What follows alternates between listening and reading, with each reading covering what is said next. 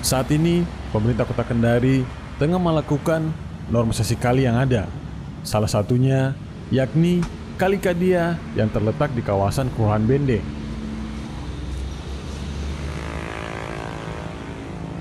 Namun di balik keseriusan pemerintah kota Kendari menata kali yang ada, bantaran kali yang berada di Kelurahan Lahundape, tepatnya samping Hotel Kubra, terlihat kumuh.